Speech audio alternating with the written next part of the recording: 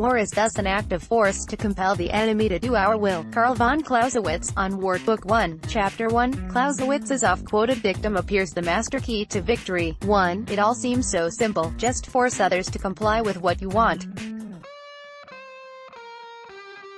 The dictum is nevertheless quite wrong. Wars are fought for a reason.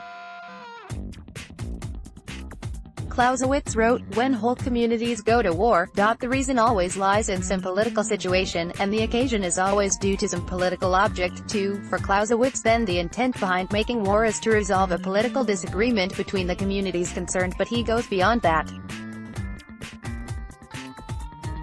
War is also a true political instrument. 3. It is a way states can choose to use their military means to achieve political ends. In being so used to resolve disagreements. War is an act of human intercourse, albeit murderous and bloody. For, in this clash of political interests, the entities involved continually respond to the actions of the other as they strive for some useful advantage. The old saying goes, the enemy gets a vote, the adversary is an animate object that reacts. 5. Wellington and Napoleon. For each, an enemy who reacted, thought and thought ahead. YouTube war accordingly involves countering intelligent and adaptive others. It entails an interdependent relationship where each party continuously modifies its position, intent, and actions based on the perceptions and actions of the others participating. Thomas Schelling observed that, these interactions, are essentially bargaining situations, in which the ability of one participant to gain his ends is dependent on the choices or decisions the other participant will make. 6. War is then a violent activity where we bargain with an adversary to come to a political outcome on which both agree. Until both sides concur, the war continues. We cannot compel belief in others. It is important here to note that this discussion concerns feuding groups or, as Clausewitz might say, whole communities or whole peoples. 7. While he used dueling as an analogy in discussing war, he asserted, war is not a contest between individuals. 8. Violence may force other groups and countries to do under duress what we want in the short term, but this doesn't bring a settled, durable peace. The remarkable military successes of Napoleon inspired Clausewitz to write on war, but Napoleon's battlefield successes proved ephemeral. Clausewitz says Prussia was convincingly beaten in 1806 in the Jena campaign, but came back militarily in the 1813 and 1814 campaigns and again at Waterloo in 1815. Violence may force other groups and countries to do under duress what we want in the short term, but this doesn't bring a settled, durable peace.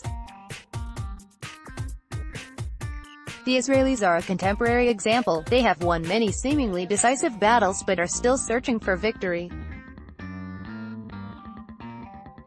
The Palestinians may be scattered and partly live in occupied lands but Israel is unable to compel them to come to a peaceful resolution of their territorial disagreement.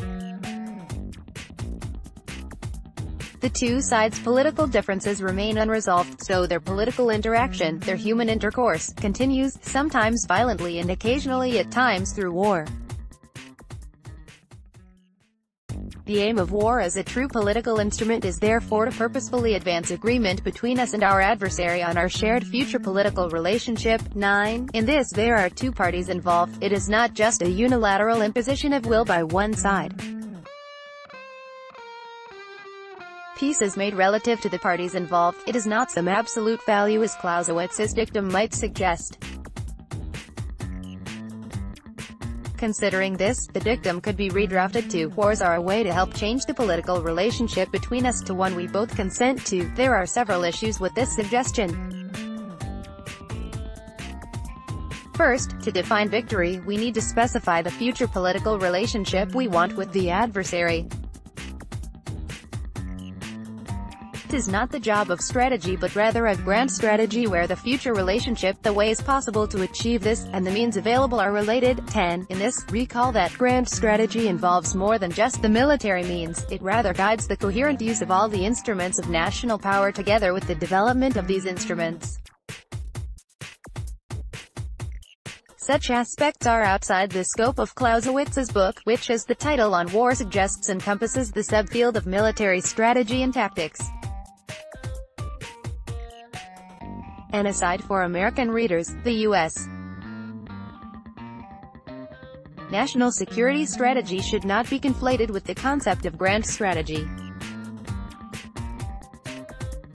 The national security strategy addresses certain matters of particular congressional concern as required under the 1986 Goldwater-Nichols Act. Recent national security strategy documents have been examples of the relatively rare and problematic milieu type. type addresses the whole international system whereas the positional type addresses one specific state or a small group of states. 11. Most grand strategies are positional with a well-known example being the U.S. Grand strategy of containment during the Cold War era. This grand strategy gradually grew to involve taking actions across the globe however it was consistently focused on addressing a single bilateral relationship of concern, that between the U.S. and the USSR. Other issues of concern to the U.S were then addressed using methodologies and techniques appropriate to each problem. 12. States have many different problems so relying on one grand strategy even of the national security strategy example is demonstrably inadequate. 13. The national security strategy deals with certain congressionally mandated issues but is not the sum total of the grand strategy problem-solving methodology. Second, in developing a grand strategy, the end sought is a better peace as Liddell Hart observed. 14. It is not to return to the status quo ante because that set of conditions led to the war in the first place. Such a peace would be devised through both parties formally or informally agreeing to the new rules and arrangements that would underpin their future political relationship. In trying to define a better peace, the academic discipline of international relations has been examining interstate political relationships for decades. The discipline's concepts can provide the structural framework for better peace thinking, although the content will depend on the specific context. Third, political interaction does not end when fighting ceases. Changes in the relationship continue because of purposeful action or accidental events. The end of the Second World War saw an occupation that through well-considered activities gradually led to a democratic German state. 15. One grand strategy followed another that again sought a better peace. In the case of Japan, agreement was reached to end the war based on the Potsdam Declaration of 26 July 1945, which included a subtle implication the emperor might be retained. 16. Succeeding the island-hopping Pacific Grand Strategy Another grand strategy then progressively came into play that with time reintegrated Japan into the liberal world order. 17. Fourth, defining the better peace sought means the term national interest can be more constrained in its use. The term has long been criticized as meaning different things to different people, having an imprecise meaning, and of being used to justify any policy the terms use are decided to support. 18. In terms of practical implementation, declarations of national interests have proven difficult to link to strategy through having no defined objective. It is then unknown when it is reached or the time it should be reached by or where it ranks in resource priority order.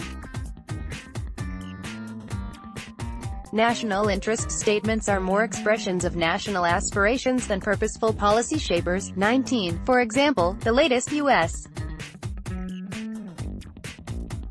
National Security Strategy document lists one of four vital national interests as promote American prosperity. It's reasonable to assume all U.S. administrations have had such a desire, rather than the converse. With a better understanding of the better peace sought, national interest declarations can be shifted from being a primary strategy determinant to having a more secondary, rhetorical function. Fifth, agreeing a better peace might be a reasonable proposal, but some adversaries may be so far beyond the pale, bargaining with them is repugnant. The obvious candidates are terrorist groups such as the Islamic State and Al-Qaeda. The campaign against Islamic State seems to show a possible path for dealing with those with whom we will not negotiate, reducing their scale through military or other means, and then keeping them to a level where the damage they inflict on others is kept at a broadly tolerable level. This is effectively a risk management approach, roughly similar to policing criminal activities. An inability to reach an agreement with an adversary can mean a forever war. With such an approach there is no resolution of the conflict, merely ongoing violence into the indefinite future. Israel is trapped in such an intractable conflict with the Palestinians, popularly termed mowing the grass. 20. Low-level hostility occurs daily with periodic short, sharp wars albeit Israeli losses are kept limited. The downsides are clear though given last year was the 50th anniversary of the Israeli occupation of the Palestine West Bank. An inability to reach an agreement with an adversary can mean a forever war. Finally, as the reader may already have discerned, my implied criticism of Clausewitz is somewhat unfair. He used the dictum that war is thus an act of force to compel the enemy to do our will, as a Hegelian device to draw attention to what happened if a concept was taken too far towards his abstract absolute war model. 21. Clausewitz knew the real world was very different, and said as much in Book 1 Chapter 2 and Book 8 Chapter 6. In the later book, with a forewarning of Liddell Hart's Better Peace, he declares, We maintain that war is simply a continuation of political intercourse, with the addition of other means. We deliberately use the phrase, addition of other means, because we also want to make it clear that war in itself does not suspend political intercourse or change it into something entirely different. That intercourse continues, irrespective of the means it employs. The main lines along which military events progress, and to which they are restricted, or political lines that continue throughout the war into the subsequent peace. 22. Khrushchev and Kennedy during the Cuban Missile Crisis YouTube, so, let's renounce the dictum that war is thus an act of force to compel the enemy to do our will. 23. Instead, let's focus on understanding wars as involving fighting others to achieve tacitly or formally agreed political outcomes. War is not, in the end, about compulsion, it is all about bargaining violently. Peter Layton is a visiting fellow at the Griffith Asia Institute at Griffith University and author of Grand Strategy. Header image, General Hill invites the last remnants of French Imperial Guard to surrender at Waterloo, painted by Robert Alexander Hillingford. Wikimedia, have a response or an idea for your own article?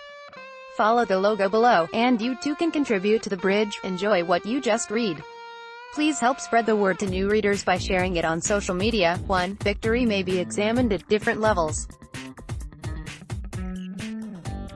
In this article, discussion is at the strategy level. See, Colonel E. A. de Landmeter, What Constitutes Victory in Modern War?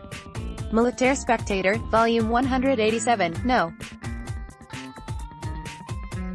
3, 2018, 137, 2, Carl von Clausewitz, on War, edited and translated by Michael Howard and Peter Paret, Princeton, Princeton University Press, 1984, 86, 3, Ibid, 87, 4, Ibid, 149, 5, Ibid, 6, Thomas C.